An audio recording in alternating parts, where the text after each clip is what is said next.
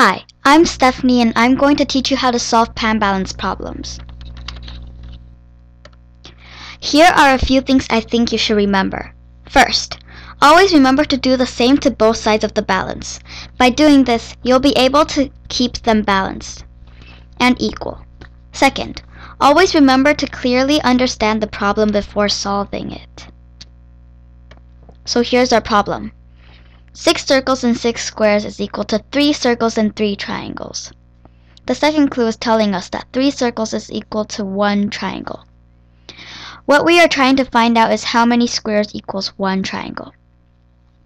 So we should first find out what we can cross out. As we can see in pan A, there are enough circles to be crossed off in both sides.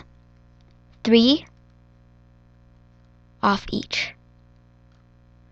Now we are left with 6 squares, 3 circles, and 3 triangles. As you can see, there's nothing else we can cross off now, so we can move to the bottom. The second clue is telling us that one triangle is equal to 3 circles. We, can, we have 3 circles here in plan, pan A, so we can replace them with a triangle. Once we, after we replaced it, now we still have things to cross off. A triangle from both sides. Now we are left with two triangles and six squares.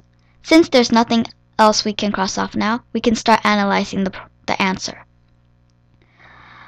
We are trying to find out how many squares is equal to one triangle. If we're finding out one triangle and we have two triangles, we just divide them in half. And we move it down here. Since we divided it in half, we have to do the same with the squares. 6 squares divided by 2 equals 3. Well, that's our answer. Now we just have to fill it in. 3.